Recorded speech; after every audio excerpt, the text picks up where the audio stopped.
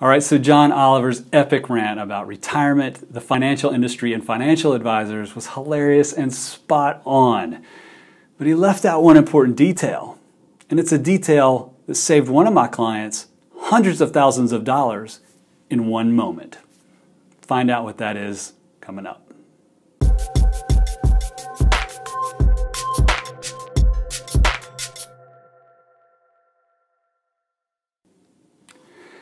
Hey folks, I'm Patrick King, financial planner and host of Transformative Television. Uh, here on this channel, uh, we have a soft spot for people who are going through the divorce process, who have lost a spouse or a loved one, uh, or people who are just trying to transform their lives for the better. If that's you or you're in one of those situations, please consider subscribing for more videos like this. And uh, if you need financial help through one of those situations, please don't hesitate to give me a call. But in this video, what I want to do is uh, pick apart a little bit of uh, John Oliver's epic retirement rant, and share my thoughts on that, and talk about the one thing that I think he missed that saved one of my clients hundreds of thousands of dollars in one moment. Take annuities. Now, certain types of those can be very complicated investment products that have high fees and would only be appropriate for certain types of portfolios. But some financial advisors push them hard. Oh man, annuities. Man, I see these annuities all the time. They get so many fees and they're impossible to get out of.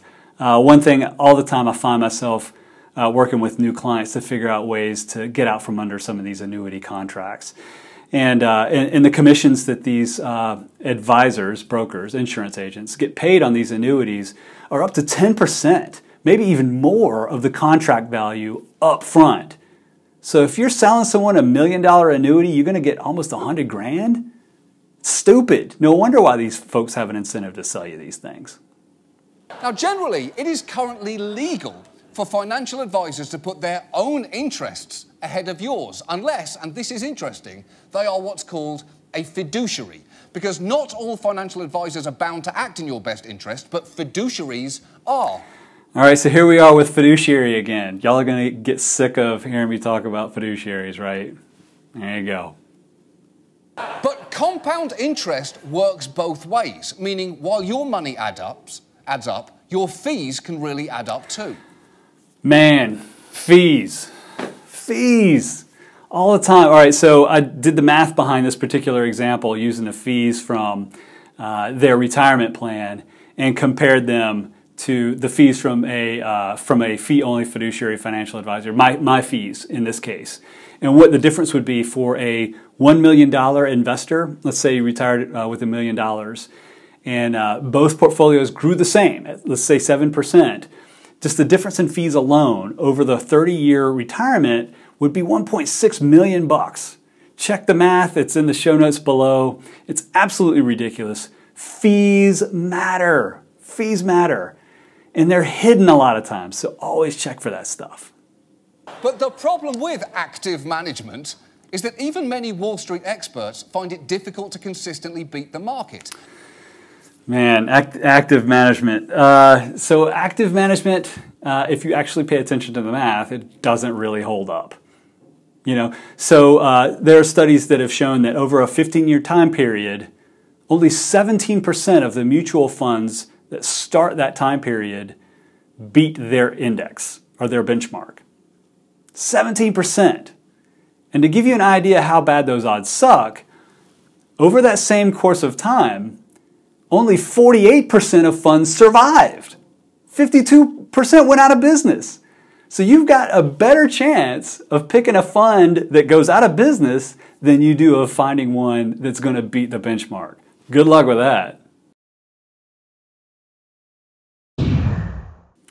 All right, at the end, you know, the, the one thing that I really love that they touched on um, was, you know, they mentioned working with fiduciary advisor. They worked with uh, to, to invest in low cost index funds, Vanguard funds, they mentioned in the, in the video.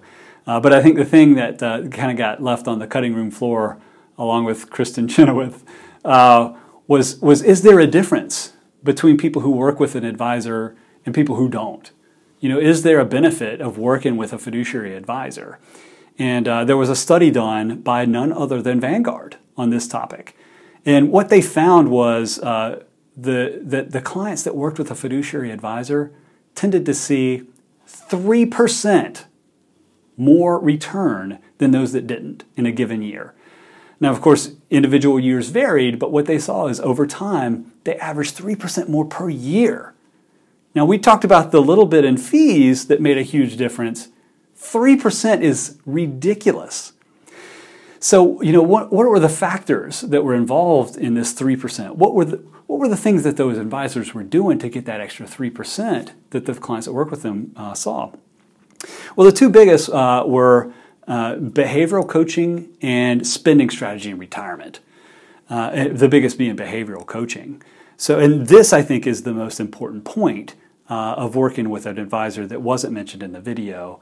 Um, so, uh, to give you a quick story of, of why I think this makes such a big difference, I want to share with you the experience of a client of mine. Um, I obviously can't name names, but but this this gentleman, he was an older gentleman, um, came. This was uh, back in the financial crisis, and he he came in. He almost picked the bottom of the market. This was March 2009.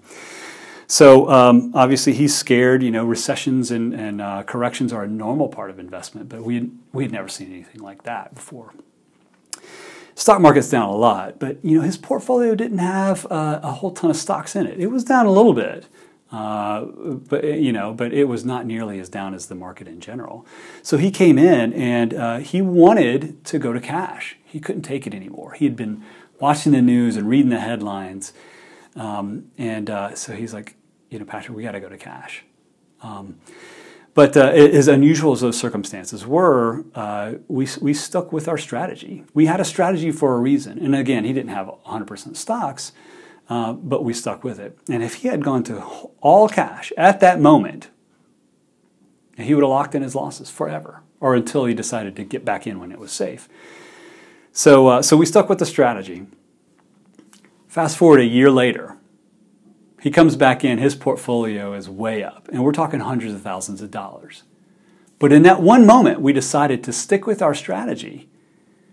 We kept his, his money invested and it allowed it to participate fully in that recovery when the market bounced back uh, in March of 2009. And of course, it did nothing but go up uh, with a couple of blips uh, since then, which has been kind of ridiculous. So not only did he, um, did he benefit by not locking in hundreds of thousands of dollars of losses in that one year. But that growth also compounded over time too, as the market continued to go up and he continued to participate in it. So that behavioral coaching thing is, is the biggest benefit, as, as uh, evidenced by the Vanguard study, and it could be worth hundreds of thousands of dollars. So that's where that uh, advisor alpha comes from. And I think one of the important points of working with a fiduciary fee only advisor that wasn't uh, that wasn't included in that video. Of course, that story's not quite as hilarious as his, um, but it's a true story and it's real dollars. So, all right, folks, thank you so much for watching. I hope you enjoyed this video. If you did, click like below, uh, consider subscribing, uh, leave us a comment. Let me know what you thought. Uh, so until next time, I'm Patrick King. This is Transformative Television. Take a deep breath. You got this. Cheers.